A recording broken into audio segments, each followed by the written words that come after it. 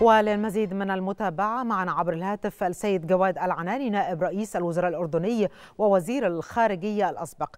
سيد جواد بعد التحية قمة مصرية أردنية في ظل ظروف دقيقة وصعبة تمر بها المنطقة وتمر بها فلسطين أهم ما سيدور في المباحثات بين الرئيس عبد الفتاح السيسي وملك الأردن. أعتقد أن الجدول الاعمال الذي سيركز عليه الطرفان هو اولا تقييم الموقف وثانيا التشديد تجديدها كموقف مشترك بين البلدين حيث أن كل وحده قد عبر عن رفضه لأي تهجير فلسطينيين في غزة إلى أي من مصر أو الأردن. نعم. الآن اعتقد وسيتم توحيد هذا الموقف المشترك بينهما وكذلك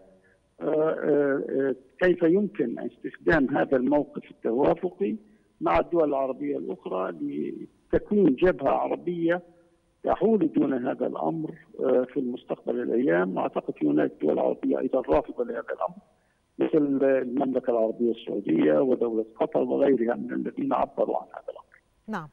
إلى أي مدى؟ نحن بحاجة ماسة إلى هذا التوافق بين الزعيمين والأمر الثالث هو أن هذا الموقف يأتي استجابة لمواقف الدول، مواقف الشعوب الشعبين يعني الاردني والمصري والذي يعبر عنه من خلال الاجتماعات البرلمانية يوم أمس في الأردن واليوم في مجلس الشعب المصري.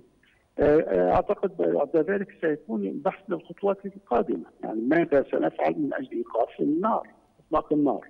وهل هنالك وسائل وكيف يمكن أن نبحث هذا الأمر، يعني أعتقد هذه هي القضايا الأساسية الثلاثه نعم.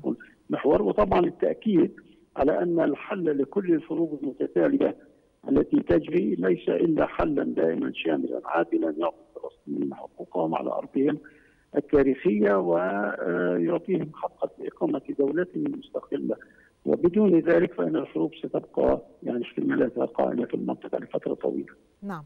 إلى أي مدى التنسيق بين الرئيس عبد الفتاح السيسي والملك عبد الله في توافق الرؤى أيضا حول القضية وحول ما يجب أن يتم اتخاذه من إجراءات سيكون له تأثير جيد وإيجابي على قمه القاهرة للسلام والتي ستعقد يوم السبت المقبل.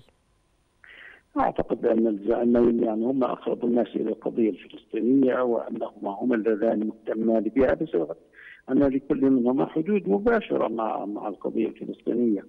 ولأن كمان لهما مواقف تاريخية وهما الدولتان الموقعتان للسلام مع إسرائيل. منظمة التحرير الفلسطينية وكذلك السلطة الفلسطينية وقعت اتفاقية السلام ولكن أسرائيل تنقضها. اذا لابد من تأكيد على ضرورة توحيد الموقف العربي في الدول الأخرى. مارست الضغط على إسرائيل من كل الجهات بضرورة وقف إطلاق النار فقد تمادوا كثيرا في غيهم وفي قتل المدنيين والعزل وهذا أمر في الحقيقة يهيج الشعوب ويهيج يعني عواطفهم.